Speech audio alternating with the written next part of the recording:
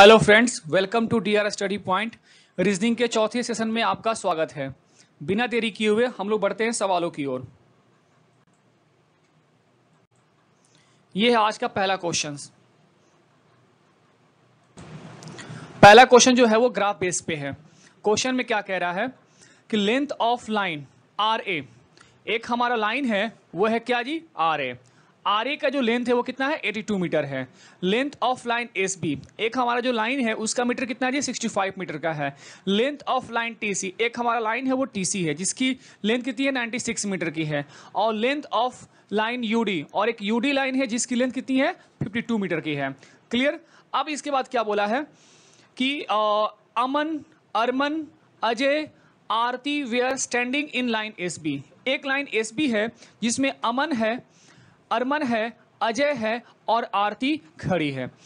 Such that the distance between the neighbouring person वे लोग इस प्रकार से खड़े हैं कि उनके जो आस पड़ोस में जो व्यक्ति है ना was a successive integral integral multiple of nine in increasing order integral successive multiple of nine है, इसका मतलब क्या होगा जी? अगर एक किसी किसी दो व्यक्ति के बीच की जो दूरी होगी, अगर वो नाइन मीटर है तो अगले दो व्यक्ति के बीच की दूरी वो अठारह मीटर होगा और फिर सत्ताईस मीटर होगा और छत्तीस मीटर होगा। ये कंटिन्यू चलते रहेगा। सक्सेसिव मल्टीपल ऑफ़ नाइन में आ रहा है। वो भी किस किसमें? इंक्रीजिंग के मोड में आ रहा है। क्लियर आगे का लाइन क्या बोल रहा है? आगे लाइन बोल रहा है कि आदर्श, आलोक, अभी, आदिति और Arpit were in line TC TC line में कौन कौन है? आदर्श है, आलोक है, अभी है। आदिति है और अर्पित है। Such that the distance between the neighbouring person was successive integral multiple of nine nine in increasing order जो लाइन जो लाइन टीसी में व्यक्ति खड़े हैं, उनके बीच भी successive multiple integral multiple of nine है। तो कहीं ना कहीं यही केस फॉर्मूला वहाँ भी इंप्लीमेंट करेगा, लागू होगा। 9 18 27 36 आगे ऐसे भी इंक्रीजिंग मोड में बढ़ते जाएगा। फिर इसके बाद क्या बोला है? The distance between Alok and Adarsh was equal to the distance between Aarti and Ajay अब क्वेश्चन में बोला यहाँ पे कि आलोक और आदर्श के बीच में ठीक है? आलोक और आदर्श के बीच की जो- दूरी है, ये जो दूरी होगी, वो बराबर होगी किसके बराबर होगी जी? आरती और अजय के बीच में। ठीक है? आरती और अजय के बीच की जो दूरी होगी, वो दोनों के बीच की दूरी क्या होगी? बराबर होगी। जितनी दूरी आरती और अजय के बीच है, उतनी ही दूरी आलोक और आदर्श के बीच है। फिर इसके बाद क्या बोला है कि Arman was second to the left of Aman Arman जो है ना, वो अमन के सेकेंड लेफ़्ट में है who was 27 metre away from Aarti. अब जहाँ भी आरती बैठेगी, आरती किस लाइन में है जी? एस बी के लाइन में है। ठीक है, आरती जहाँ भी बैठेगी, उसके सेकेंड लेफ़्ट में अमन बैठेगा। ठीक है, और अमन से सॉरी यहाँ पे आरती के 27 मीटर की दूरी पे। कितना जी? आरती के 27 मीटर की दूरी पे अमन है, और अमन से सेकेंड लेफ़्ट में कौन बैठा है? अरमन बैठा हुआ है। ये क्वेश्चंस में बोला है कि आरती के सेकेंड, आरती के 27 मीटर दूरी पे अमन बैठा है और अमन से सेकेंड लीटर सेकेंड लेफ़्ट में अरमन बैठा हुआ है। ये बात क्लियर हो गई। फिर इसके बाद क्या बोला है कि Arpit was 63 metre to the left of Abhi. Abhi जहाँ बैठेगा, उसके लेफ़्ट में, कहा जी, लेफ़्ट में अर्पित बैठेगा और दूरी कितना होगी जी? तिरसठ मीटर होगी। ठीक है? और फिर क्या बोला? Abhi who was not neighbouring Alok? मतलब कि जहाँ भी आलोक किस लाइन में बैठेगा? टीसी में बैठेगा। आलोक जहाँ भी बैठेगा, उसके आस पड़ोस में अभी नहीं बैठेगा।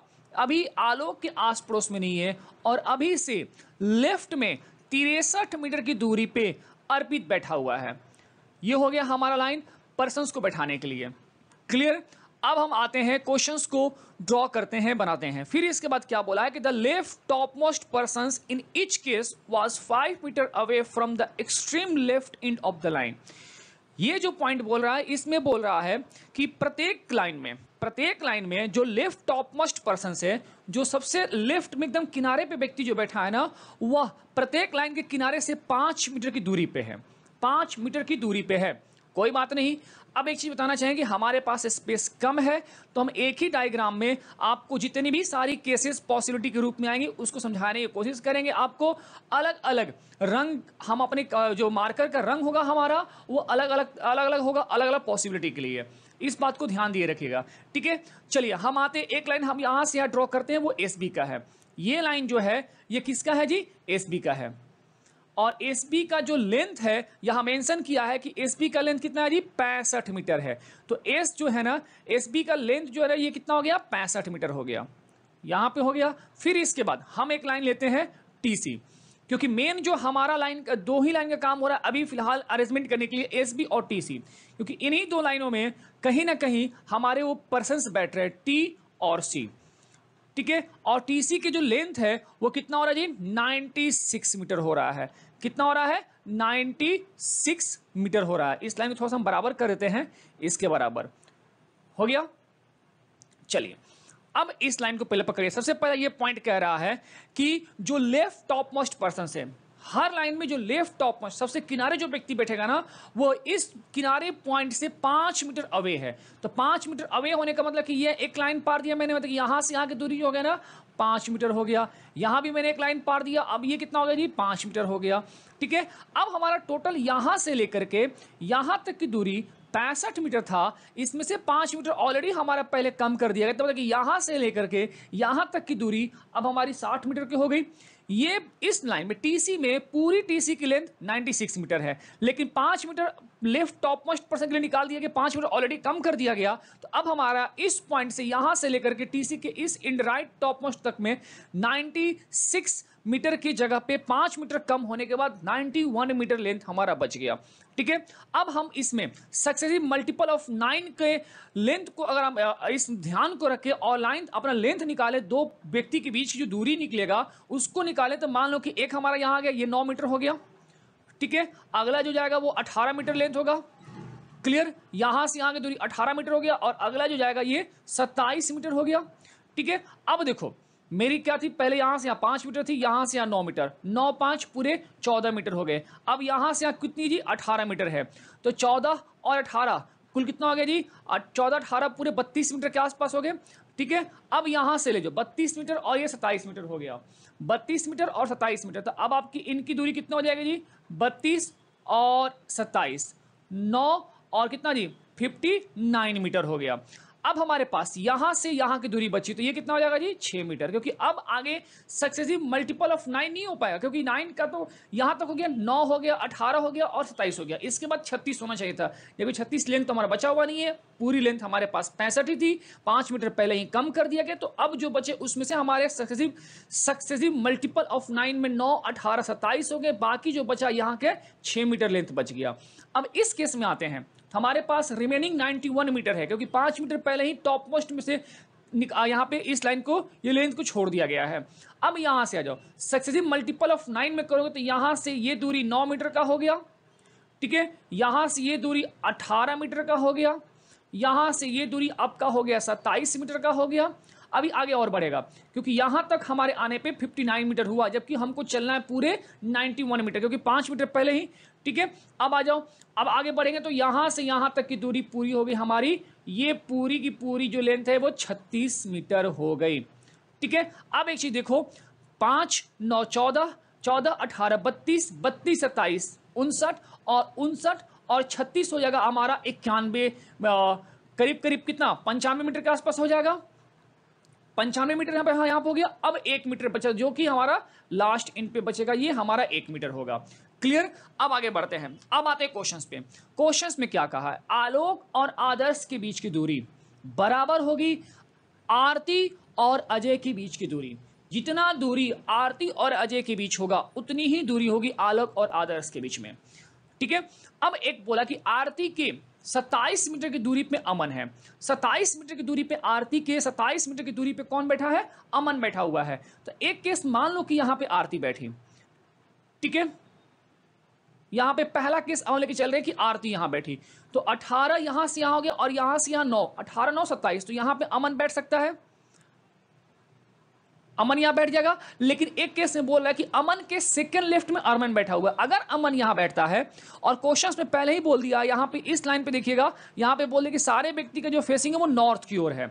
ठीक है? तो अब अगर अमन यहाँ बैठता है, यहाँ पे अमन अगर बैठता है तो इसकी फेसिंग नॉर्थ होगी तो सेकंड लेफ़्ट का मतलब लेफ़्ट इधर जाएगा, और लेफ़्ट में कोई सीट तो है नहीं जहाँ पे हम अरमन को बैठा सकते हैं। तो ये हमारी पॉसिबिलिटी क्या हो गई? रॉन्ग हो गई। ठीक है? अब जब हमारी ये पॉसिबिलिटी रॉन्ग हो गई तो एक केस में लेते कि आरती यहाँ बैठ गई। ठीक है? तो अब यहाँ पे कौन बैठ सकता है जी? आरती तो अमन यहाँ बैठ सकता है। हो गया? अब जब अमन यहाँ बैठा तो अमन के सेकेंड लेफ़्ट में कौन बैठा है जी? अरमन। तो फेसिंग तो नॉर्थ ही होगा, अब इसके सेकेंड लेफ़्ट तो फ़र्स्ट सेकेंड जबकि ऑलरेडी यहाँ पे इस पोजीशन पे कौन बैठी है? आरती बैठी है। तो जब ऑलरेडी आरती बैठी हुई है तो अब अरमन बैठ नहीं सकता है तो ये भी हमारी पॉसिबिलिटी क्या हो गई? रॉन्ग हो गई। मतलब कि आरती और अमन के लिए, ये प्लेस जो है ना, ये हमारा पॉसिबल नहीं है कि यहाँ पे आरती और अमन बैठ सकते हैं। अब हमारे पास क्या है? क्योंकि 27 मीटर की दूरी है तो एक केस में अब ले लो। अब हमारे पास एक केस क्या बच रहा है? अगला जो केस बच रहा है, उसमें एक केस में मान लो कि यहाँ पे आरती यहाँ पे आरती बैठ गई। चलो ठीक है, अब यहाँ पे अमन को बैठा दो। ये भी हो गया, क्योंकि यहाँ से देखो, इस पॉइंट से लेकर के इस पॉइंट के बीच दूरी 27 मीटर ऑलरेडी दिया हुआ है। ठीक है, अब यहाँ पे आरती बैठ गई। तो यहाँ पे कौन बैठ गया जी? अमन बैठ गया। ठीक है? अब आ जाओ, अमन के सेकंड लेफ़्ट में कौन बैठा? है अरमन बैठा है। तो अमन के सेकंड लेफ़्ट में यहाँ पे अरमन बैठ जाएगा। अब मैं अरमन के लिए अलग एक रंग यूज़ कर रहा हूँ मार्कर का। ये हो गया हमारा अरमन। देखना ध्यान से। अरमन। ठीक है? अरमन यहाँ बैठ गया। अमन के सेकेंड लेफ़्ट में अरमन बैठ गया। तो ये तो केस पूरा हो गया हमारा। आरती यहाँ बैठ गई, अमन यहाँ बैठ गया, अरमन यहाँ बैठ गया। एक व्यक्ति बचा है। वो एक व्यक्ति कौन बचा है जी? वो है अजय। तो अजय यहाँ वहाँ पर यहाँ पे बैठ गया, ठीक है? अजय। थोड़ा सा लाइन को समझिएगा, क्योंकि हमारे पास स्पेस की कमी है। अजय यहाँ बैठ गया। तो अब देखो, आरती और अजय के बीच में कितनी दूरी है? पहले ये मेंशन करो। क्यों? क्योंकि उतनी ही दूरी होगी हमारे किसके किसके बीच ही आलोक और आदर्श के बीच। ऑलरेडी क्वेश्चन में बोला हुआ कि आरती और अजय के बीच जितनी दूरी होगी ना, उतनी ही दूरी होगी आलोक और आदर्श के बीच में। अब यहाँ पर देखो, आरती यहाँ पे है तो यहाँ से अठारह हो गया, और यहाँ से कितना है जी? नौ। तो अठारह नौ सत्ताईस। मतलब कि आरती और अजय के बीच की दूरी कितनी है? सत्ताईस मीटर की है। सत्ताईस मीटर की दूरी आरती और अजय के बीच में है। ये बात होगी अब आते हैं इस लाइन में। टीसी में हमारा आलोक और आदर्श बैठेगा। अब मान लो कि एक केस में आलोक यहाँ बैठा। तो एक केस में यहाँ पे कौन बैठेगा जी? आदर्श बैठेगा। ठीक है? अब देखो, आलोक और आदर्श के बीच में उतनी ही दूरी है।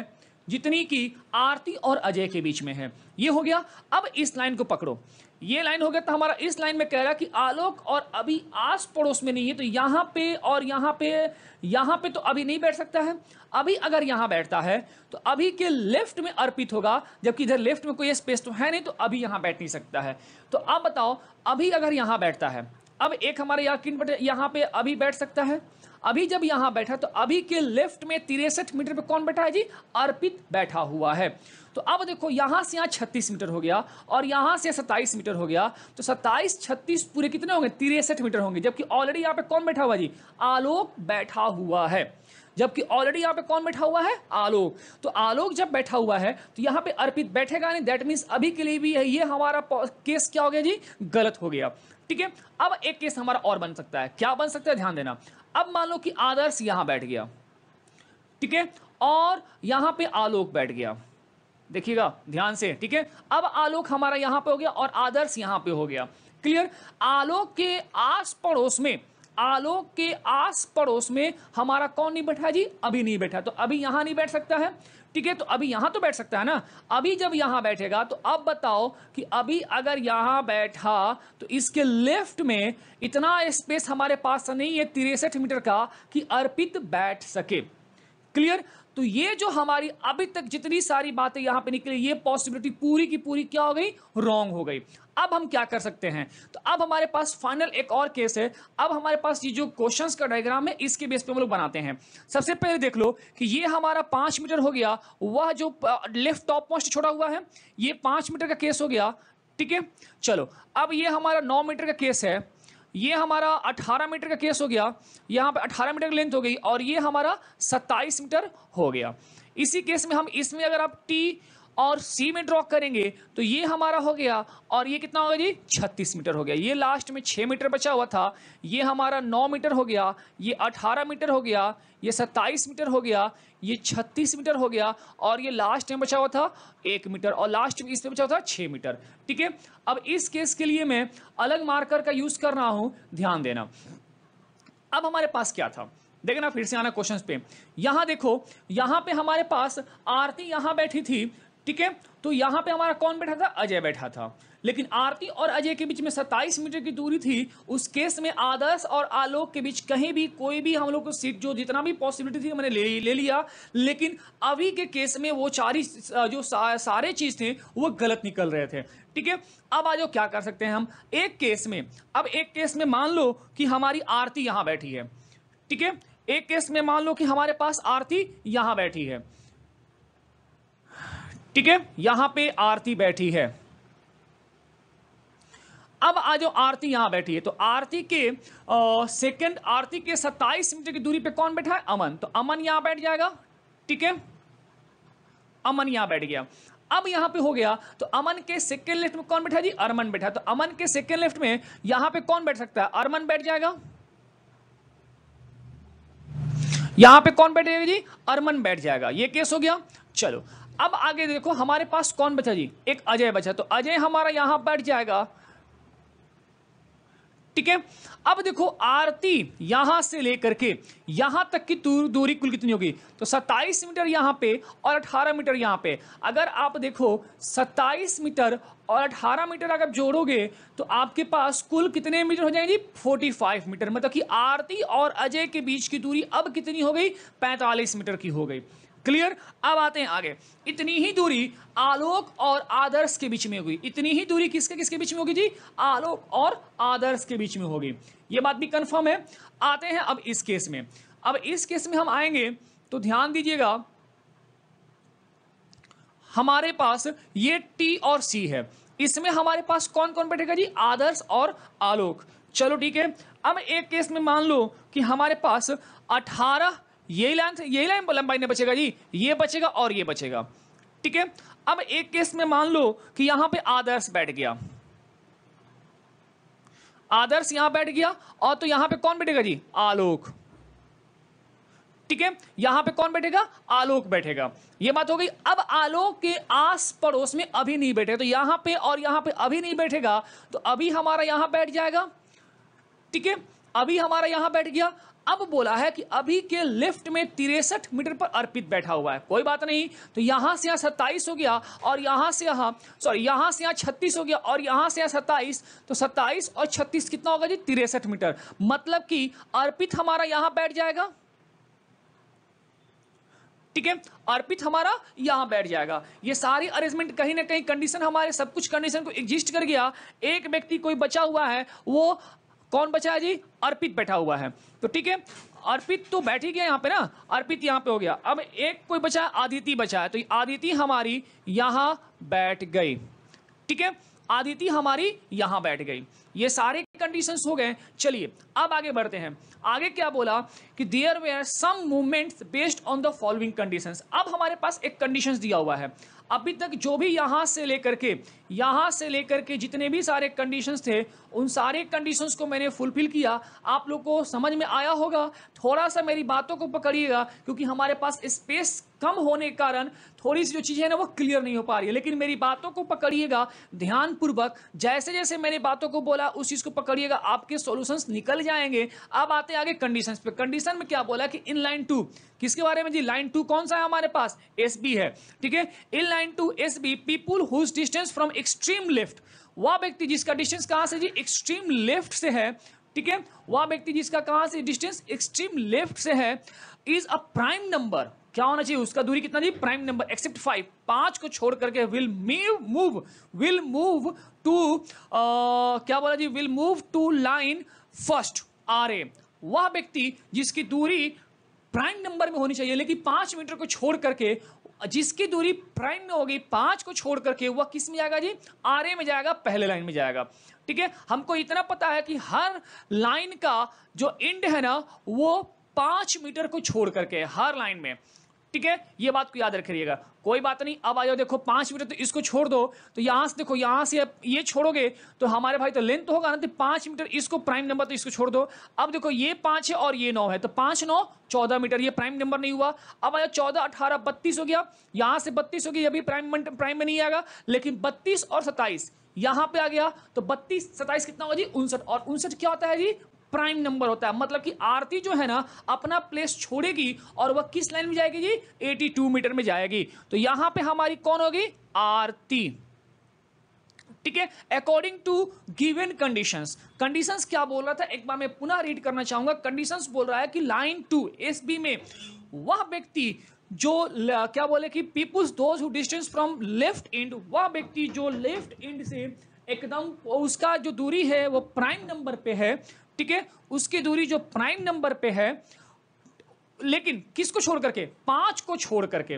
वह आगे वाले लाइन आर में चला जाएगा, पहले लाइन में चला जाएगा। तो हमने यहाँ से लाइन एस बी से उस व्यक्ति को फाइंड किया जिसकी दूरी लेफ़्ट एंड से लेफ़्ट टॉप मोस्ट एकदम प्राइम नंबर पे है। बात समझ में आ रही है ना? चलो, आ जाओ। आगे क्या बोला है कि will move in line R A and all other remaining the respective position और बाकी सब जो होंगे ना, वो सेम पोजिशन में होंगे। क्लियर अब आगे बढ़िए। आगे क्या दिया है? Condition number two condition number two क्या बोला है कि इन लाइन थ्रू टीसी अब टीसी के बारे में बोला है। टीसी के बारे में क्या बोला है? कि people whose distance from extreme left end वह व्यक्ति जो एकदम लेफ़्ट एंड से लेफ़्ट एंड का मतलब कि ये एंड हो गया, ठीक है? यहाँ से is a multiple of five except five अब उसकी दूरी कितनी होनी चाहिए? मल्टीपल ऑफ़ फाइव लेकिन पाँच को छोड़ करके, ठीक है? Will move in line UD जिसकी मल्टीपल ऑफ़ फाइव होगी लेफ़्ट इंड से, लेकिन पाँच को छोड़ करके वह यूडी में चला जाएगा and all others people remaining at respective positions और बाकी सब जो है ना, वो अपने सेम पोजीशंस पे होंगे। ठीक है? तो अब आ जाओ। यहाँ से यहाँ दूरी देखो। ये पाँच मीटर है और ये नौ मीटर तो पाँच नौ कितना होगा जी चौदह मीटर हो गया ये मल्टीपल ऑफ़ फाइव तो है नहीं, क्योंकि पाँच को छोड़ देना है। अब देखो, चौदह अठारह कितना हो जाएगा जी? आपका चौदह अठारह कितना? बत्तीस होगा। तो बत्तीस भी पाँच का मल्टीपल है नहीं। बत्तीस सत्ताईस कितना होगा जी? फिफ्टी नाइन ये भी पाँच का मल्टीपल है नहीं। फिफ्टी नाइन और थर्टी सिक्स कितना होगा जी? नाइनटी फाइव और 95 पाँच का मल्टीपल है। मतलब कि अभी जो है ना यह हमारा अभी जो है ना, अगले लाइन मतलब किसमें आएगा जी? यूडी में आएगा। तो यहाँ पे हमारा अभी हो जाएगा। ठीक है? ये यूडी में आएगा तो यहाँ पे कौन होगा? अभी हो जाएगा। ये है इस क्वेश्चन का फाइनल सोल्यूशन सॉल्यूशन ये है इस क्वेश्चन का फाइनल सोल्यूशन मुझे समझ में आपको आई थिंक जहाँ तक मुझे ज्ञात है कि आप लोग को डायग्राम क्लियरली समझ में आ रही होगी, क्योंकि हमारे पास मैं पुनः बोलना चाहूँगा कि हमारे पास स्पेस कम होने कारण थोड़ी सी चीज़ें जो है ना, वो आपस में काफ़ी जटिल हो गई है। तो डायग्राम आपको समझ में आ रहा होगा। अब आते हैं इस क्वेश्चन पे, पाँच जो क्वेश्चन है उसको सॉल्व करते हैं। ये रहा हमारा फाइनल कंक्लूजन ठीक है? अब जो एक बार मैं पुनः उस बात को जो डिस्कस कर देना चाहूँगा, क्या था क्वेश्चंस में? पूरा लाइन हम क्वेश्चंस डिस्कस कर दे कि क्वेश्चंस की जो फाइनल कंक्लूजन आया था हमारे क्वेश्चन का, उसमें था कि एसबी में एसबी लाइन में हमारे अरमन, अजय, अमन और यहाँ पे आरती बैठी हुई थी। टीसी लाइन में आदिति, आलोक, अर्पित एंड आदर्श और उसके साथ अभी बैठा हुआ था। क्लियर? फिर कंडीशन दिया हुआ था, दो कंडीशन थे। एक कंडीशन बोला था एसबी के बारे में कि वह व्यक्ति जो लेफ़्ट इंड से प्राइम नंबर पे बैठा हुआ है, उसकी दूरी कितनी होनी चाहिए? लेफ़्ट इंड से प्राइम नंबर होनी चाहिए। वह आर ए में आ जाएगा और वह व्यक्ति जो टीसी में बैठा हुआ है और उसकी दूरी लेफ़्ट इंड से मल्टीपल ऑफ़ फाइव होना चाहिए वह आ जाएगा यूडी में। लेकिन दोनों ही कंडीशन में पाँच को उसने इग्नोर किया था। पाँच को उसने कहा था कि नहीं प्राइम में पाँच को छोड़ करके और मल्टीपल में पाँच को छोड़ करके। तो जब इस कंडीशन को हमने फॉलो किया था तो हमारे पास यहाँ से यहाँ दूरी पाँच मीटर जबकि ये तो कंडीशन के ऑलरेडी मना कहते पाँच प्राइम नंबर के। इसको छोड़ने के बाद बाकी प्राइम नंबर फाइंड करना है तो यहाँ से यहाँ पाँच और यहाँ से नौ। चौदह मीटर हो गया और ये अठारह। ठीक है जी? ये आपका चौदह, अठारह, बत्तीस हो गया और ये सत्ताईस। तो बत्तीस, सत्ताईस पूरे के पूरे हमारे उनसठ मीटर हो गए थे और यहाँ पे हमारी आरती बैठी हुई थी और उनसठ हमारा प्राइम नंबर है। तो आरती जो है ना, वो आर में आ गई, यहाँ पे इस पोजीशन पे आ गई थी।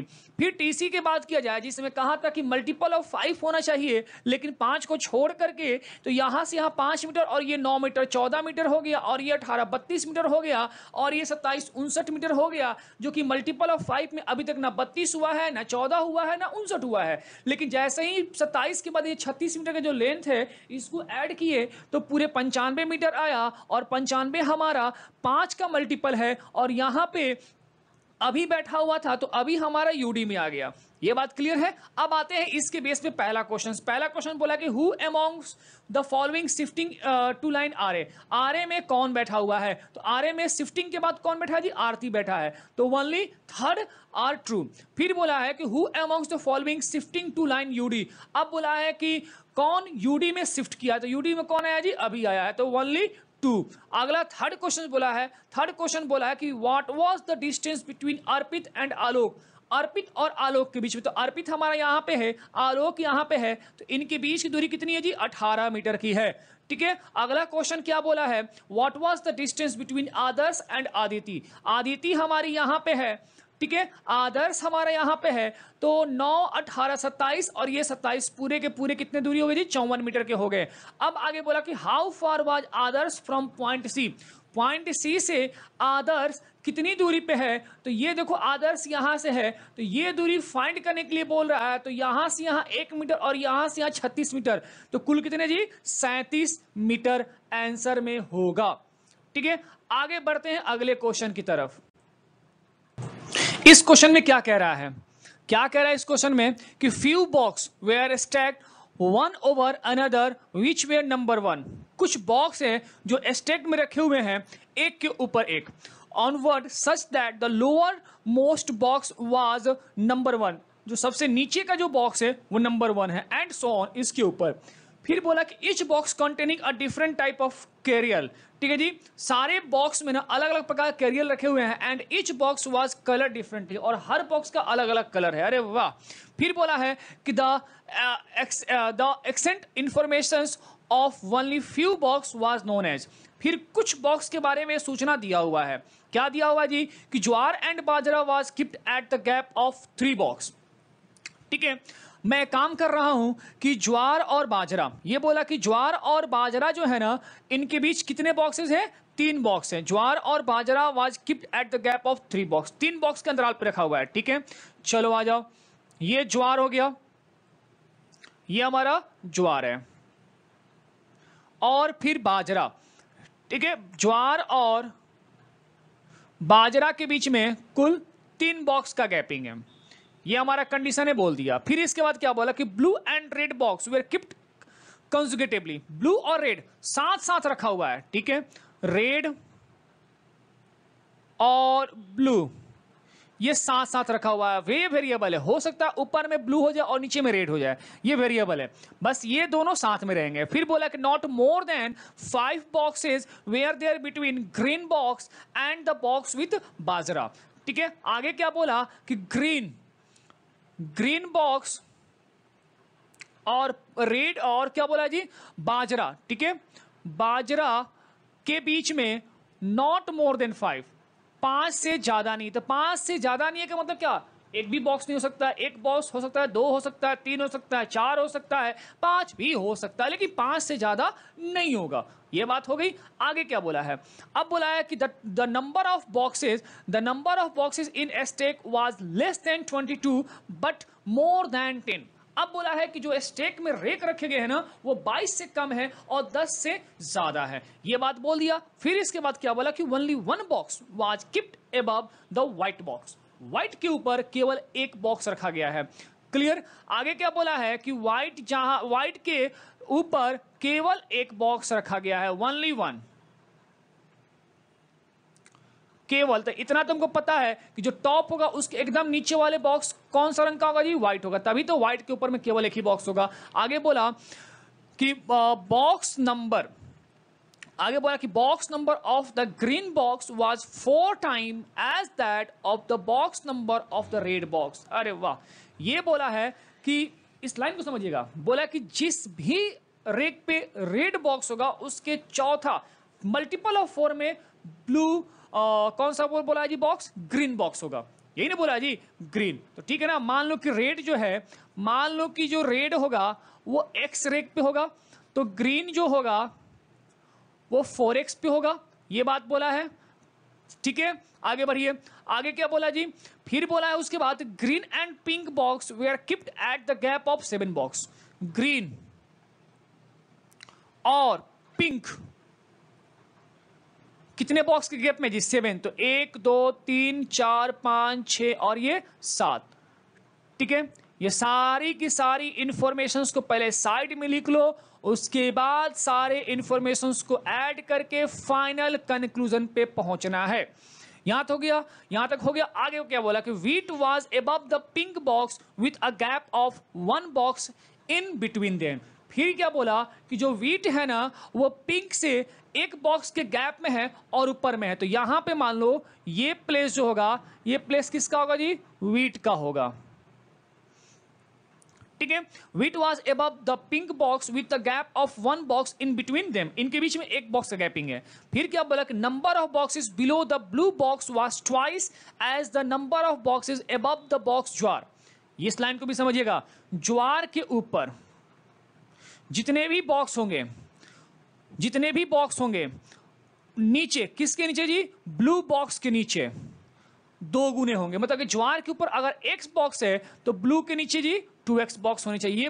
पी लाइन को याद रखिएगा। आगे यूज़ करने में इसका काम आएगा। यूज़ तो करना ही है। फिर इसके बाद क्या बोला?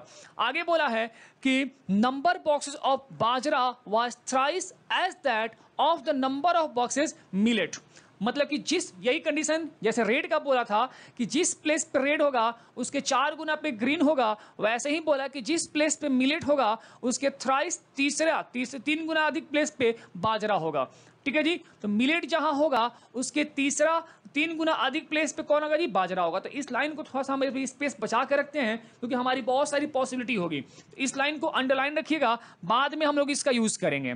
आगे बढ़ते हैं कि millet was kept at the gap of two box from the pink box pink box ठीक है?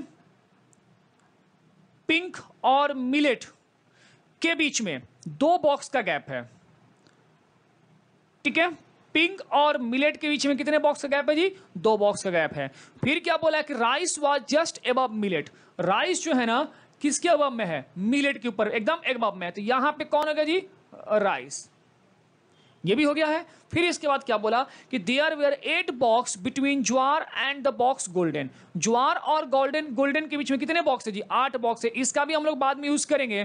फिर क्या बोला कि jowar was not kept in the white आगे का लाइन क्या बोला कि ज्वार जो है ना, ज्वार का जो बॉक्स है वो व्हाइट कलर का नहीं है। व्हाइट बॉक्स में नहीं है ज्वार, ये हो गया। चलिए, आगे हम आते हैं अपने फ्लोर को पहले काउंट करते हैं। मान लीजिए कि हमारा ये एक, दो, तीन चार, पाँच, छ, सात, आठ, नौ, दस, ग्यारह, बारह, तेरह, चौदह, पंद्रह, सोलह, सत्रह, अठारह, उन्नीस, बीस और इक्कीस। मैंने एकदम बाईस से एक कम ले लिया है हाईएस्ट ले लिया, ठीक है? अब हमको क्वेश्चन स्टार्ट करना है। बहुत लोग के मन में प्रश्न उठा क्वेश्चन स्टार्ट कैसे करें? सबसे पहले इस लाइन को पकड़िए। ये जो लाइन है ना, आपको क्वेश्चन को सॉल्व करने में बहुत हेल्प करेगा। कैसे? देखो, अब एक बात देखो कि रेड जिस भी रेट पे होगा, उसके चार गुना प्लेस पे ग्रीन होगा। ये बात कंफर्म है। और हमारे पास टोटल नंबर ऑफ़ जो बॉक्स होगा वो 21 से कम होगा 10 से ज़्यादा होगा। ये बात भी कंफर्म है। दो बात को, एक लाइन को माइंड पे ऐड रखो। अब देखो, मान लो कि रेड पहले पे होता है। मान लो कि रेड पहले स्थान पे हुआ। तो ग्रीन हमारा चौथे रेट पे होगा। एक पॉसिबिलिटी ये बना। अब अगर रेड दूसरे स्थान पे होता है, दूसरे पे होता है, दूसरे प्लेस पे होता है रेड वाला तो ग्रीन जो है, वो आठवें प्लेस पे होगा। ये भी हो गया। अगर रेड तीसरे प्लेस पे हुआ तो ग्रीन हमारा बारहवें प्लेस पे हो गया। अब अगर रेड हमारा चौथे पे होता है तो ग्रीन कहाँ जाएगा जी? सोलहवें पे। ये बात भी हो गया। अब अगर रेड पाँचवें प्लेस पे होता है तो ग्रीन कहाँ जाएगा जी? बीसवें। ये सारे, इतने सारे पॉसिबिलिटी बने। ठीक है? ये एक, दो, तीन, चार और पाँच। क्योंकि बीस से आगे हम बढ़ नहीं सकते हैं। अब छह तो छह चौके चौबीस क्योंकि बाईस से बाहर हो गया। बाईस जो भी रेख होगा, वो हमको बाईस से नीचे ही होगा। ठीक है? तो अब इतनी सारी पॉसिबिलिटी लेके चलना है। ऑफकोर्स लेके चलना है। ठीक है? तो हम पॉसिबिलिटी लेके चलते हैं। ध्यान से देखिएगा कैसे क्वेश्चन को एग्जीक्यूट किया जा रहा है, बनाया जा रहा है। बारीकी समझिएगा। क्वेश्चन को बनाने का तरीका बताया जा रहा है आपको। अब हम पॉसिबिलिटी लेके चल रहे हैं। ठीक है? देखो एक पॉसिबिलिटी हम यहाँ लेके चलेंगे। इस लाइन को मैं ड्रॉ कर दे रहा हूँ। ठीक है? एक एरो हम ले रहे हैं और और ये एक पॉसिबिलिटी हो गया।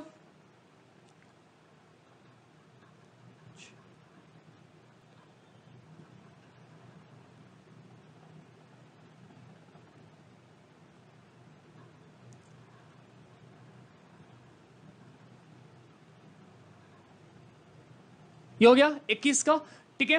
अब एक रेखा और बना रहे हैं, ठीक है? एक रेख हम और बना रहे हैं और ये हमारी एक पॉसिबिलिटी और हो गई, ठीक है? एक, देखो, सब लाइन एक दूसरे के आमने सामने हैं, ध्यान देना।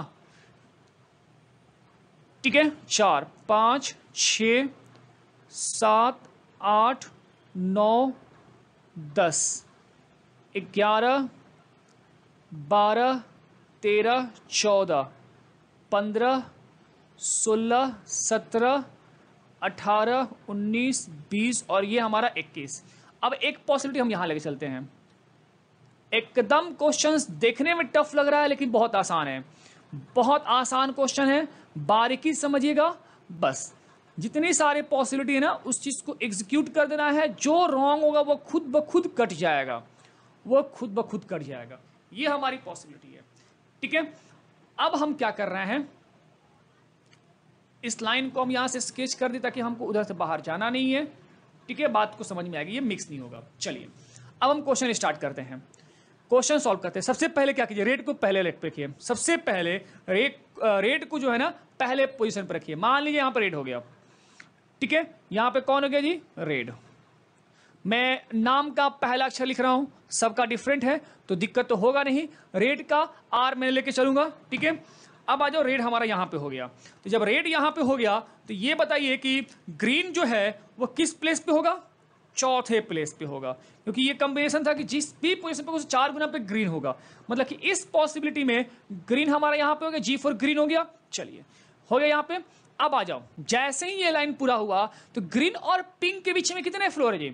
सात का गैपिंग है। ग्रीन और पिंक के बीच में कितने गैपिंग है जी? सात का। तो अब देखो हमारे पास, अब ग्रीन जब यहाँ पे हो गया तो पिंक तो नीचे होगा नहीं, ऊपर ही जाएगा। तो एक, दो, तीन, चार, पाँच छ सात, यहाँ पे कौन है जी? पी फोर पिंक यहाँ पे कौन हो गया जी? पी फोर पिंक जब पिंक यहाँ पे हो गया तो अब आ जाओ। पिंक और वीट के बीच में एक गैपिंग है। तो यहाँ पे तेरह, चौदह पे क्या होगा जी? वीट ठीक है ये चौदह पे क्या हो गया जी? वीट ये हो गया। चलिए चौदह पे क्या हो गया? वीट फिर इसके बाद क्या बोला है कि पिंक और मेल्ट के बीच में पिंक और मेल्ट के बीच में दो फ्लोर का गैपिंग है दो का गैपिंग है। तो पिंक हमारा बारहवें पे तो ग्यारह और दस गैपिंग तो नौवे पे कौन है जी? मिल, मिलेट हो जाएगा ठीक है? नौवे पे कौन होगा जी? मिलेट हो जाएगा। और मिलेट के जस्ट ऊपर में कौन होगा जी?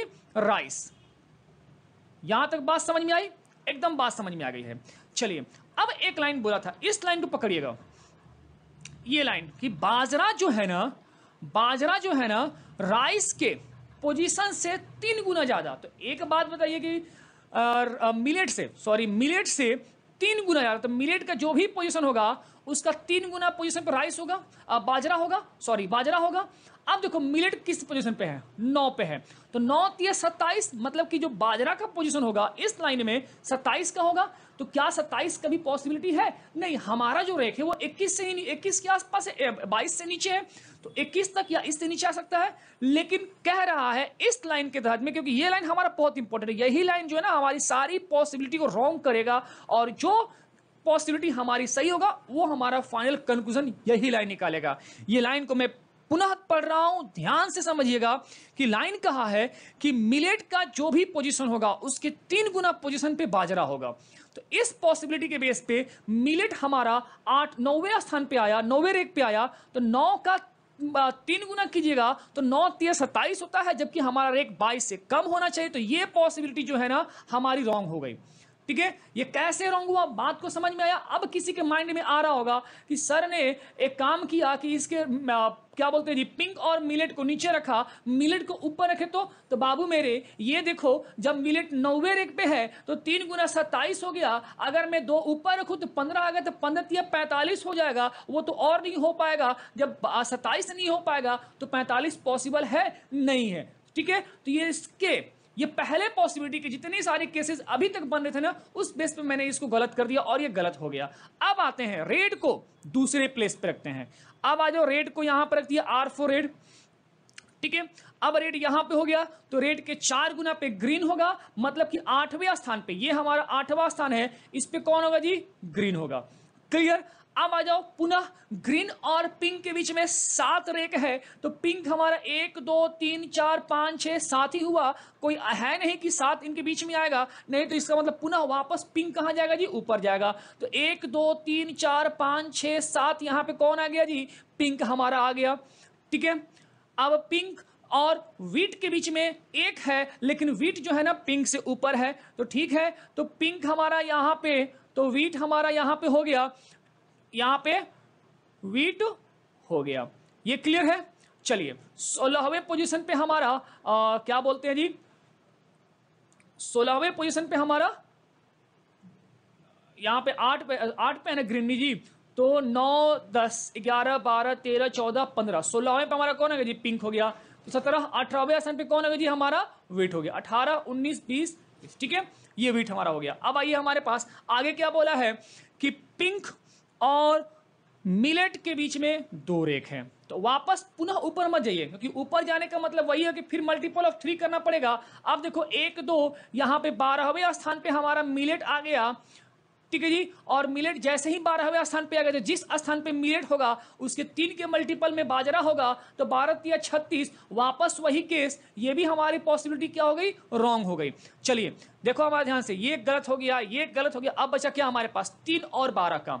अब तीसरे पोजीशन पे कौन हुआ जी? तो पहला, दूसरा, तीसरे पोजीशन पे रेड हो गया। ठीक है? तीसरे पोजीशन पे कौन हो गया? रेड हो गया है। अब जब तीसरे पे रेड हो गया तो चार, तिहाई, बारह मतलब कि बारहवें स्थान पे कौन होगा जी? हमारा ग्रीन होगा। तो चार, पाँच छ सात, आठ, नौ, दस, ग्यारह, बारह, यहाँ पे कौन हो गया जी? ग्रीन हो गया है। ठीक है? चलो, ग्रीन यहाँ पे हो गया। अब देखो, ग्रीन और पिंक के बीच में सात फ्लोर है या सात रेक है। तो एक दो, तीन, चार, पाँच छ सात। यहाँ पे होना चाहिए कौन? पिंक, जो कि पॉसिबल तो है नहीं क्योंकि ऑलरेडी यहाँ पे रेड है पिंक तो बैठेगा नहीं। तो अब ऊपर आ जाइए। एक, दो, तीन, चार, पाँच छ सात। यहाँ पे कौन हो गया जी? पिंक तो एक छोड़ के यहाँ पे कौन है जी? वीट वापस देखिए पिंक और मिलेट के बीच में दो रेख है तो मिलेट यहाँ पे आ गया। अब देखो कि मिलेट का जो भी पोजीशन होगा जो भी पोजिशन होगा सोलह, सत्रह, लेकिन वो मल्टीपल ऑफ़ थ्री में जाएगा तो बहुत ऊपर चला गया, फिर से हमारा बाईस से ऊपर चला गया तो ये भी पॉसिबिलिटी क्या हो गई हमारी? रॉन्ग हो गई। तो अब देखो, ये भी जो केस था, हमारा क्या हो गया? रॉन्ग हो गया। अब क्या है हमारे पास? चार और सोलह का। कोई बात नहीं। चलो, चौथे स्थान पे रेड को रखो। ठीक है? तो चौथे पे रेड हो गया तो सोलहवें पे क्या होगा जी? ग्रीन हो गया। क्लियर याद रखिएगा, मैं हर अक्षर का, हर वर्ड का पहला अक्षर ले रहा हूँ। जी फॉर ग्रीन है, यहाँ पे आर फॉर रेड है। ये हो गया है। अब आगे क्या बोला कि ग्रीन और पिंक के बीच में सात फ्लोर है तो एक, दो, तीन, चार, पाँच छ सात, यहाँ पे पिंक हमारा हो जाएगा। आठवें रेक पे हमारा पी फोर पिंक हो गया। ये बात कंफर्म हो गई। चलो ठीक है पिंक और वीट के बीच में एक फ्लोर है तो दसवें पे हमारा वीट आ गया। W four wheat W H E T wheat हो गया हमारा आठ, दसवें पे। तो ग्रीन और पिंक के बीच में सॉरी पिंक और वीट के बीच में एक रेक है, ये बात भी हो गया और वीट जो है ना पिंक के ऊपर वाले रेक पे है, ये भी हो गया। आगे बढ़ा कि मिलेट और पिंक के बीच में दो रेक है तो सात और छह बीच में आ गए तो पाँचवें पे हमारा मिलेट आ सकता है। ऑफकोर्स आ सकता है।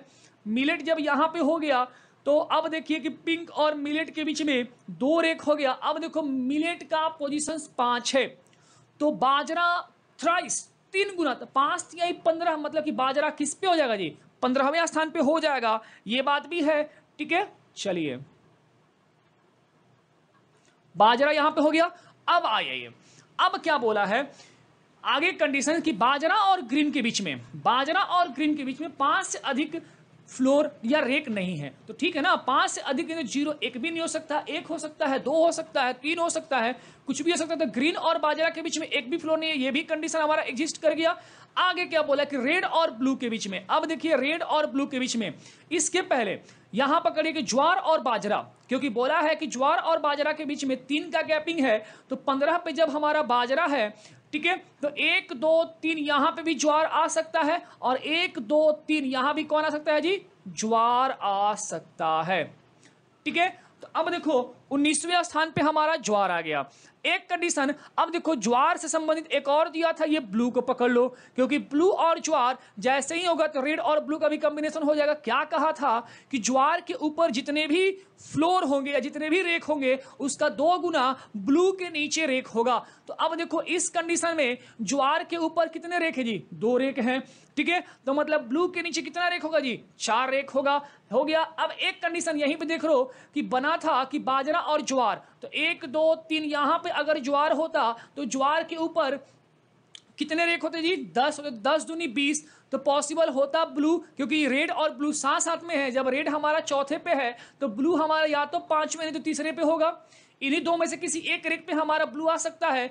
जबकि इस कंडीशन में अगर हमारे ग्यारहवें स्थान पे ज्वार होता तो एक पॉसिबिलिटी बन रहा था ना जी, बाजरा और ज्वार के बीच में। अगर यहाँ और यहाँ के बीच में, ज्वार और बाजरा के बीच में तीन व्यक्ति का केस दिया था, अगर यहाँ पे ज्वार होता तो इसके ऊपर में दस रेक होते तो वो भी दस का दो गुना बीस मतलब ब्लू के नीचे बीस रेक होते हैं। तो फिर रेट तो हमारा यहाँ बैठा हुआ था, वो पॉसिबिलिटी भी गलत हो गया। मतलब कि ये ज्वार का जो पॉसिबिलिटी है, ये जो ज्वार का केस है प्लेस ये सही है। ठीक है? तो अब आ जाओ, ब्लू के नीचे चार रेक होगा तो मिलेट हमारा पांचवे पे है। मतलब कि मिलेट कौन से बॉक्स में जाएगा जी? ब्लू में जाएगा, ठीक है? मिलेट जो है ना, वो ब्लू कलर के बॉक्स में जाएगा। अब देखो ब्लू के नीचे एक, दो, तीन, चार, ये भी कंडीशन हो गया। आगे बढ़ते हैं।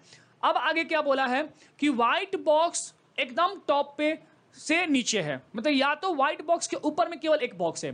तो व्हाइट हमारा यहाँ पे हो जाएगा और ज्वार जो है ना, वो व्हाइट कलर का नहीं है। ठीक है जी? ये व्हाइट के ऊपर में एक हो गया, हमारा इक्कीस हो गया और व्हाइट ज्वार बॉक्स में नहीं आ रहा, ज्वार जो है ना वो व्हाइट बॉक्स में नहीं आ रहा, ये भी कंडीशन हो गया है।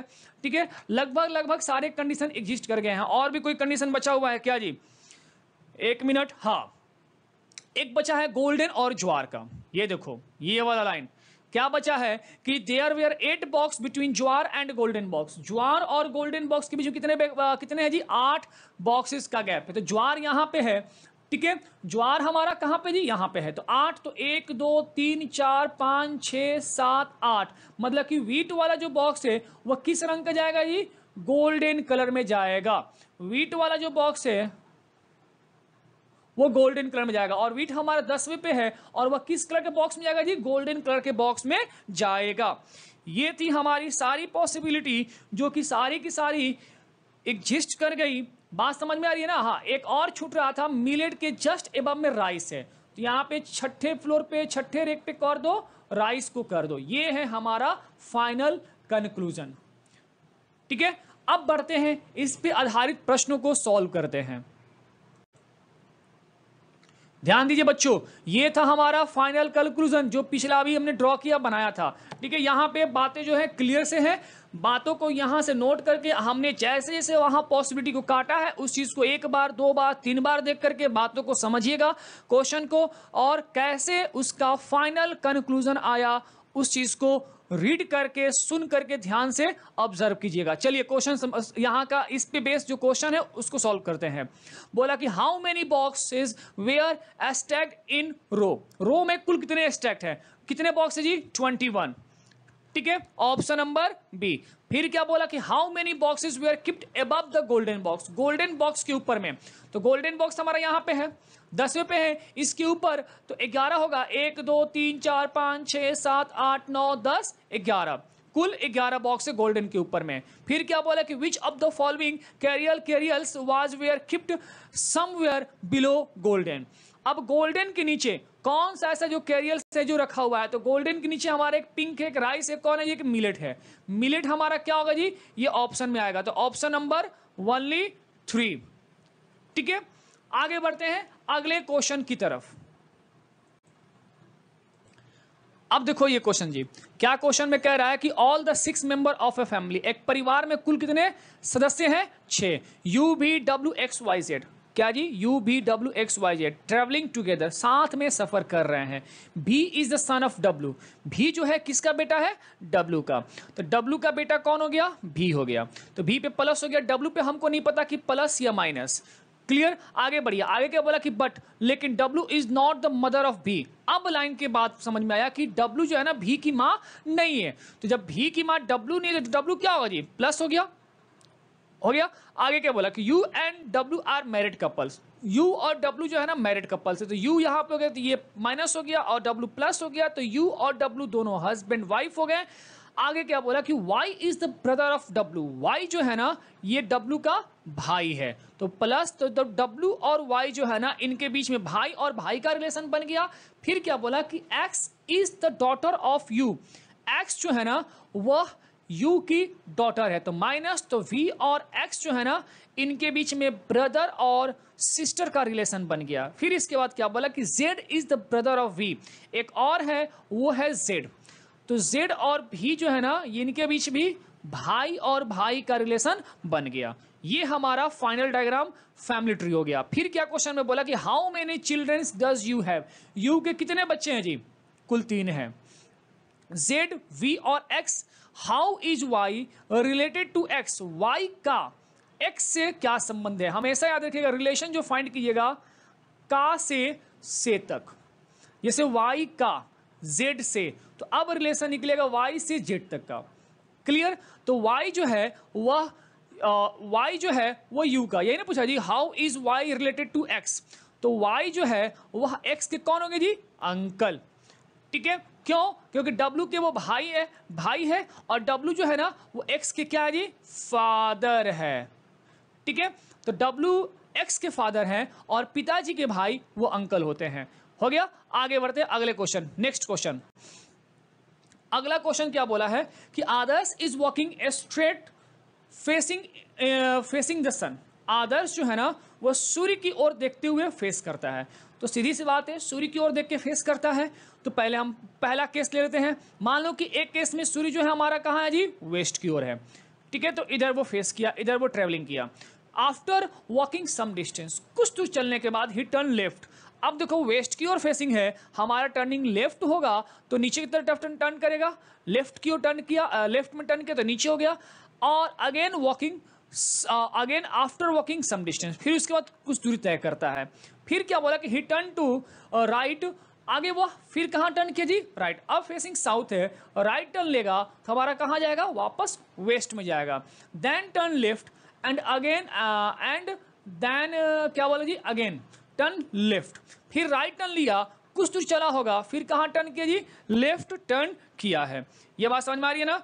फिर वो कहाँ टर्न किया जी? लेफ़्ट टर्न किया है। ये बात हो गई? चलो। फिर वो लेफ़्ट टर्न किया, कुछ दूर चला और फिर वापस वो लेफ़्ट टर्न किया। तो इस कंडीशन में अगर सूर्य का केस पश्चिम का होता है तो अगर वो पश्चिम की दिशा में चलता है तो उसका फेसिंग कहाँ होगा जी? ईस्ट की ओर। सेकंड का केस बनेगा, अगर हमारा सूर्य जो है ना, वो पूरब में होता है। ठीक है? तो फिर वह कहाँ टर्न जी? लेफ़्ट ये लेफ़्ट में चला फिर उसके बाद कहाँ टर्न किया जी? आ, कुछ चलने के बाद वो राइट टर्न लिया। ये राइट टर्न लिया है फिर उसके बाद लेफ़्ट और फिर उसके बाद लेफ़्ट तो अब अगर सूर्य का फेसिंग या सूर्योदय होता है ईस्ट में सूर्य होता है तो उस केस में उसकी फेसिंग कहाँ होगी जी? वेस्ट में। तो हम नहीं कह सकते हैं कि वो किधर फेस करेगा क्योंकि सूर्य की दो स्थिति होगी ना जी। सूर्य की दो स्थिति एक स्थिति हमारा सनराइज के समय में और एक स्थिति हमारी सनसेट के समय में। तो क्या होगा जी? कैन नॉट बी डिटरमाइंड अब एक केस देखिएगा। इस टाइप के क्वेश्चन को डायरेक्ट आप सॉल्व कर सकते हैं। बिना डायग्राम बनाए। सीधी सी बात है क्वेश्चन में कहा है कि सन की तरफ़ फेस कर रहा है और सन की दो स्थिति होगी, एक सनराइज और एक सन सेट के समय। ठीक है जी? अब दो केस है तो दो केस उसको चलने का बनेगा। और दो केस जब चलने का बनेगा तो दो तरफ़ उसका डायरेक्शन बनेगा फेसिंग करने का। तो डायरेक्ट हमको इतना पता होना चाहिए और डायरेक्ट हमारा आंसर क्या होना चाहिए? सी एन डी अगला क्वेश्चन अब ये क्वेश्चन नंबर बारह। इसमें क्या कह रहा है? Kalyan walks eight metre in west direction ठीक है? कल्याण जो है ना, वो आठ मीटर वेस्ट डायरेक्शन में मूव मूव किया फ्रॉम पॉइंट क्यू मान लो कि ये पॉइंट क्यू है, ठीक है? अब यहाँ से वो वेस्ट में चला आठ मीटर ठीक है? आठ मीटर चला। फिर इसके बाद क्या बोला कि then six metre in south direction फिर वो साउथ में मुड़ा है और कितना गया जी? छः मीटर इसके बाद क्या बोला? Then he take a left turn and walk eight metre ठीक है? फिर इसके बाद वो लेफ़्ट टर्न लिया है और कितना गया जी? आठ मीटर गया है। तो ये लेफ़्ट टर्न लिया और ये आठ मीटर गया। ठीक है? ये इधर साउथ में मुड़ा छः मीटर चला और ये लेफ़्ट टर्न लिया और ये फिर आठ मीटर गया। क्लियर फिर इसके बाद क्या बोला कि then he walks reaching point P ये बिंदु क्या है? पी है। फिर इसके बाद बोला कि then he walks X metre in the same direction फिर वो इसी दिशा में एक्स मीटर की दूरी तय करता है। क्लियर एक्स मीटर की दूरी तय करता है। तो ये हमारा एक्स मीटर की दूरी तय करता है। In the same direction then he walk three metre in north direction फिर इसके बाद वो तीन मीटर नॉर्थ में चलता है। तो ये लो, तीन मीटर नॉर्थ में चला गया। In north direction to reaching point R ये आर बिंदु, ये बिंदु आर हो गया है। Find the value of X X की वैल्यू फाइंड करना है सच दैट क्या, कि the shortest distance from Q is five metre तो फाइव से जो शॉर्टेस्ट डिस्टेंस है ना, ये जो डिस्टेंस शॉर्टेस्ट मेंशन किया है, ये कितना है जी? पाँच मीटर, हमको ये फाइंड करना है। तो कुछ नहीं करना है। यहाँ से यहाँ ये मिला दो, ठीक है? फिर आप इसको मिला दो ये। तो अब देखो यहाँ पे ये लेंथ और ये लेंथ बराबर, ठीक है? अब आ जाओ तो जब ये बराबर तो यहाँ से यहाँ तीन तो ये पूरा का पूरा जो है ये इसके बराबर हो जाएगा। तो पूरा कितना जी? छः है। तो छः में से ये जो बचा, तीन बचा तो ये भी कितना बचेगा जी? तीन। अब देखो, ये हमको पता है, ये हमको पता है। तो अब निकल जाएगा। तो इसको निकालने के लिए क्या करेंगे जी? हम वही एक्स इसकल टू पाँच का स्क्वायर माइनस तीन का स्क्वायर तो एक्स इजकल टू पच्चीस माइनस नौ कर सकते हैं। तो एक्स इजकल कितना हो जी? फोर। तो ये कितना हो जाएगा? फोर। तो ये भी कितना हो जाएगा? हमारा फोर। तो एक्स इजकल टू कितना होगा जी? Four metre. Option number C. आगे बढ़ते हैं नेक्स्ट क्वेश्चन की ओर। ये रहा हमारा नेक्स्ट क्वेश्चन। नेक्स्ट क्वेश्चन क्या बोल रहा है कि Joseph walks from point P towards north for a distance of five metre Joseph जो है ना वह किसी बिंदु पी से नॉर्थ की ओर चलता है पाँच मीटर क्लियर चलिए, आगे बढ़ते हैं। अब क्या बोला? इस लाइन में बोला कि नॉर्थ की ओर वो बढ़ता है। तो मान लो कि ये नॉर्थ है हमारा, ये बिंदु है, और इस बिंदु से वो नॉर्थ की ओर मूव किया पाँच मीटर चलो फिर पाँच मीटर ये जी पाँच मीटर चला। Clear then he take a right turn and walk four metre फिर इसके बाद वो राइट टर्न लिया है और कितना गया जी? Four metre then he take another left turn and walk four metre फिर इसके बाद वो लेफ़्ट टर्न लिया और फोर मीटर गया। ये बात भी हो गया? क्लियर आफ्टर दैट क्या बोल then after turning 135 degree anti clockwise फिर अब इसके बाद एंटी क्लॉकवाइज में 135 डिग्री टर्न करेगा। तो एंटी क्लॉकवाइज 135 डिग्री में, अब देखो हमारे पास एंटी क्लॉक निकालना है तो एक बात समझ लीजिए कि हमारा, ये हमारा ईस्ट होता है, ये वेस्ट होता है, ये नॉर्थ होता है, ये साउथ होता है। फेसिंग हमारा नॉर्थ की ओर है तो एंटी क्लॉक होगा तो अब हमारा, ये देखो एंटी क्लॉक के लिए क्या होगा? मान लो इस, ये बारह हो गया हमारा, ये क्या होगा जी? तीन हो गया, ये छः हो गया और ये हमारा नौ हो गया। तो मैं बारह से नौ जाऊँगा तो एंटी क्लॉक होगा और फेसिंग मेरा नॉर्थ ही ओर है नॉर्थ की ओर है तो मैं इधर टर्न करता हूँ मतलब कि बारह से, मेरा जब, मेरा फेसिंग जब बारह की ओर है तो मैं इधर टर्न करूँगा तो एंटी क्लॉक होगा और यहाँ से या नब्बे डिग्री तो ये हमारा जो होगा, कितना होगा जी? 135 डिग्री एंटी क्लॉक होगा। मतलब कि वह व्यक्ति यहाँ से टर्न किया होगा 135 डिग्री और फोर रूट टू चला। तो फोर रूट टू चलने का मतलब कि ये जो होगा फोर रूट टू हो गया। Clear to reaching point Q किस पॉइंट पे पहुँच गया? क्यू पॉइंट पे पहुँच गया। तो what is the distance between point P and Q तो पी और क्यू तो पी हमारा यही है। पी और क्यू के बीच दूरी कितना होगा जी? पाँच मीटर होगा। क्लियर अगला क्वेश्चन ये है हमारा अगला क्वेश्चन क्या बोला कि A and B want to went out of their houses A और बी अपने घर से चलते हैं to go to the same office एक ही, दोनों अपने अपने घर से निकलते हैं एक ही ऑफ़िस के लिए. B walk four kilometre initial in south direction B जो है, वह प्रारंभिक दौर में साउथ में चलता है. कितना चला जी? फोर मीटर कोई बात नहीं. ये यहाँ से चला साउथ की ओर फोर मीटर क्लियर आगे क्या बोला? And A initially walk thirteen kilometre in north east और ए जो है, कहीं से वो अपने घर से चला है इनिशियली नॉर्थ ईस्ट में थर्टीन हो गया? चलो। ये नॉर्थ ईस्ट हमारा हो गया यहाँ पे चला thirteen clear to meet at a point दोनों कहाँ मिलते जी? किसी एक बिंदु में मिल जाते ये बिंदु हमारा मिल गया। आगे बढ़िए। फिर इसके बाद क्या बोला है? From they from they from there they walk twelve metre towards east and then took फिर उसके बाद ये दोनों 12 मीटर ईस्ट की ओर चलते हैं। तो ईस्ट की ओर चले इधर चले 12 metre. Took a right turn and walked 5 meter another uh, uh, walked another 5 meter 5 kilometer to reaching the office. फिर इसके बाद वो लोग राइट टर्न लिए और वह ऑफ़िस पहुँचने के लिए कुल उन्होंने पाँच मीटर की दूरी तय की। पाँच मीटर की दूरी तय की। फिर वो क्या बोला कि A house is in west direction from his office A का जो घर है उसके ऑफ़िस से वेस्ट में होता है। तो मतलब कि एकदम दोनों एक लाइन में हो गया। ये दोनों थोड़ा सा लाइन उन्नीस बीस हो सकता है। ये देखो, ये पाँच मीटर हो गया। अब देखो, इसका ये ऑफ़िस है। ए का ऑफ़िस है। ठीक है? अब ए के ऑफ़िस से उसका घर एकदम वेस्ट की ओर है। ये भी हो गया है। आगे क्या बोला है? What was the shortest distance of the office to their A their houses A and B respectively A और बी के बीच का शॉर्टेस्ट डिस्टेंस निकालना है हाउस का। बात समझ में आई? तो ये हमको ये दूरी फाइंड करना है। ठीक है? हमको ये दूरी फाइंड करना है। तो अब आ जाओ। एक काम करो, सबसे पहले इस लाइन को यहाँ मिला दो। आप मिलाओगे तो ये लेंथ और ये लेंथ बराबर होगा। हो गया? जब ये लेंथ ये लेंथ बराबर तो ये कितना जी? पाँच मीटर। अब बताओ, ये हमारा पता है तेरह मीटर। ये हमको पता है पाँच मीटर। तो इसकी दूरी निकलेगी? निकलेगी ना? तो ए हाउस का ए ऑफ़िस का निकलेंगे तो आपका निकल सकता है ऑफकोर्स निकलेगा, और फिर हमारा यहाँ से बी का हाउस यहाँ पे है, ठीक है? तो ये दूरी हमको फाइंड करना है, ये। क्लियर तो अब हमको ये दूरी और ये दूरी निकल जाएगा तो फिर हमारा यहाँ से यहाँ कितना है जी? पूरा का पूरा तो ये बराबर हो जाएगा, पूरा ये बारह हो जाएगा। हमको ये फाइंड करना है, हमको ये फाइंड करना है, ये हमको निकालना है। तो तेरह का स्क्वायर माइनस पाँच का स्क्वायर कर सकते हैं तेरह का स्क्वायर माइनस पाँच का स्क्वायर करेंगे रूट में तो हमारा कितना होगा जी? ट्वेल्व किलोमीटर हो जाएगा। मतलब कि यहाँ से यहाँ की दूरी कुल कितना हो जाएगा जी? बारह किलोमीटर। ये हो गया बारह किलोमीटर के मीटर में मेंशन किया जी। बारह किलोमीटर में, चलिए। सब जगह यहाँ पे किलोमीटर कर लीजिएगा। ठीक है? सब यहाँ पे डिस्टेंस जो दिया वो किलोमीटर में दिया है। ये भी हो गया। चलिए। यहाँ से यहाँ बारह और यहाँ से यहाँ कितना जी? बारह है। ये हो गया, आगे बढ़ते हैं। अब ए की ऑफ़िस जो है ना, उसके घर से 12 और 12 पूरे ए ऑफ़िस की जो दूरी है, वह 24 किलोमीटर हो गया। ये 12 कैसे समझ में आया?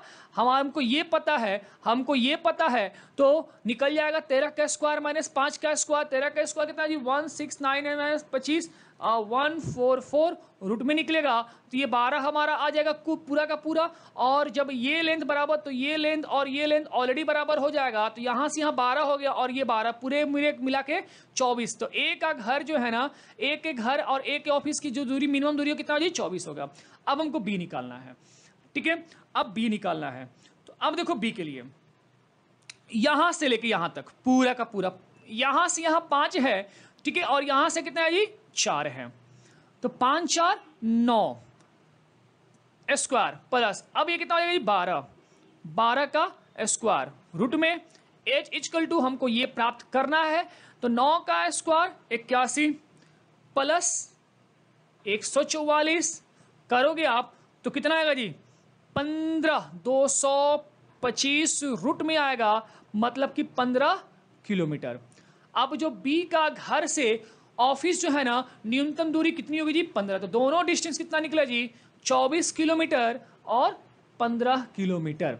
ए के घर से और बी के घर से इनके ऑफ़िस की दूरी चौबीस और पंद्रह है। Option number C. ठीक है? बढ़ते हैं अगले क्वेश्चन की तरफ़।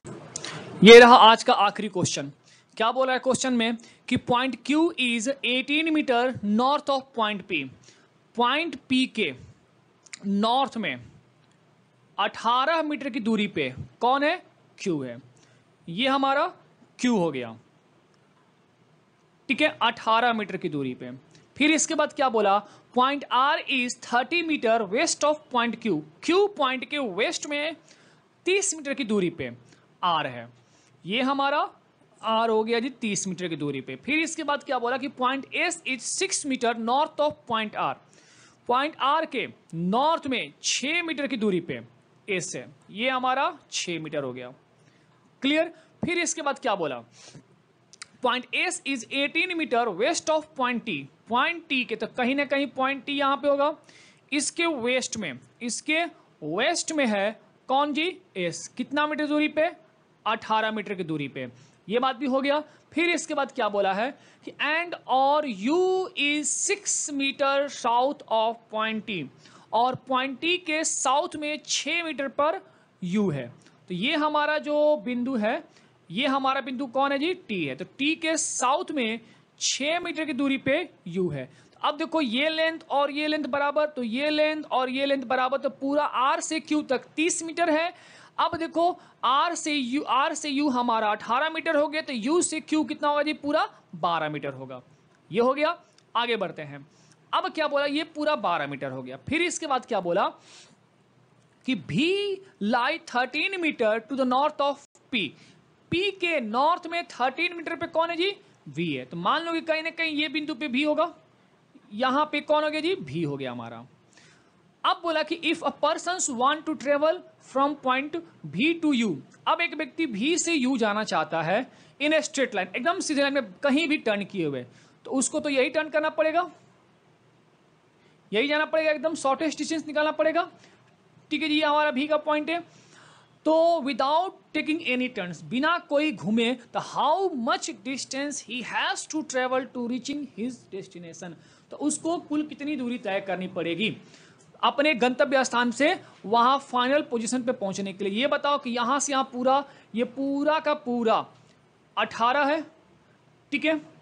यहाँ तक हमारा 13 हो गया। तो ये कितना बचेगा जी? पाँच मीटर। मतलब कि ये जो दूरी बचेगा पाँच मीटर और ये कितना बचेगा जी? बारह।